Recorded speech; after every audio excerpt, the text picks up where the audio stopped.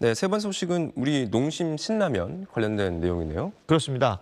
어, 대만에 수출된 농심 신라면에서 농약 성분이 검출돼서 천상자가 폐기된 사실이 대만 언론을 통해 알려졌습니다.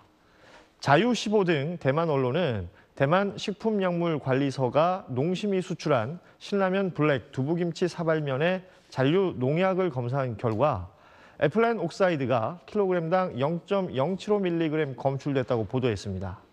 에틸렌 옥사이드는 주로 살균 용도로 사용이 되며 세계 보건기구인 WHO 산하의 국제암연구소가 발암성 물질로 분류한 성분인데요.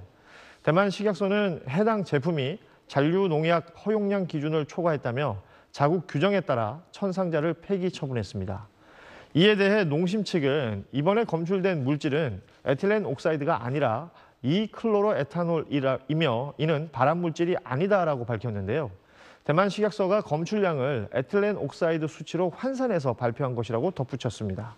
또 문제가 된 제품은 대만 수출용 제품으로 국내 제품 분석 결과 해당 성분은 검출되지 않았다고 해명했습니다.